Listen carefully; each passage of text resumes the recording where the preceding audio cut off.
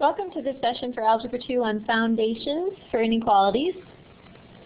And what we're looking at doing today is determining whether an ordered pair is a solution to a linear inequality, draw graphs of linear inequalities on a number line, write inequalities that represent a set of numbers graphed on a number line. So the, our first question here is determine whether the open sentence is true for the given ordered pair. So what we're asked to do is take this open sentence, x minus 3y less than 5. And we're going to take this ordered pair and see if when we substitute it in for x and for y, we get a true statement. So I'm going to be substituting this one in for the x and the negative one in for the y. And remember this is multiplication between the 3 and the y, so I want to make sure I write it as multiplication when I fill the negative 1 in. So I, I will have 1 minus 3 times negative 1 less than 5. And important here that you do not do 1 minus 3. We have to follow our order of operations and do the multiplication first.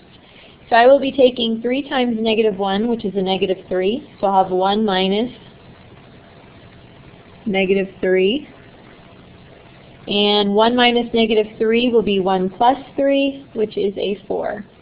So I compare this to my 5. Is 4 less than 5? Yes, so this is a true statement. And this ordered pair makes our open sentence true.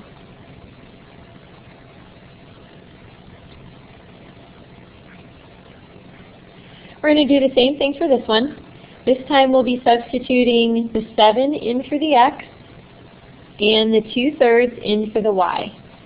So we will have 4 times 7 minus 3 times 2 thirds greater than or equal to negative 2.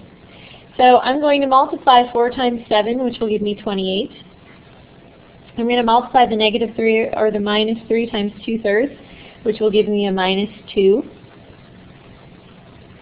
And 28 minus 2 is 26, and that is greater than or equal to negative 2. So this also is, this order pair does also make this open sentence true.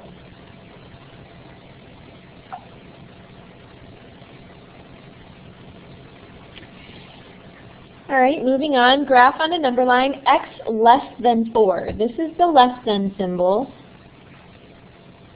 So when I graph this on a number line,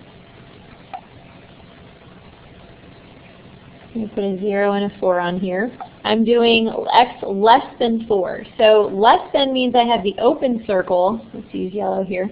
I have the open circle, and since I want numbers that are less than 4, I'm going to the left to get the numbers that are less than 4. And I have to do the open circle because it's a less than symbol. If it were less than or equal to, then it would be a closed circle on the 4.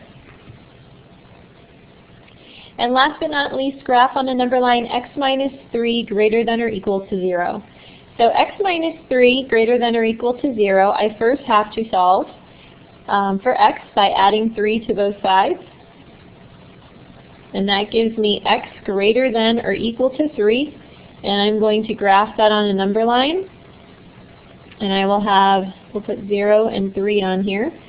And we want numbers that are greater than or equal to 3. So I'm going to have a closed circle on 3 because it's greater than or equal to. And I'm moving to the right because I want numbers that are greater than or equal to 3.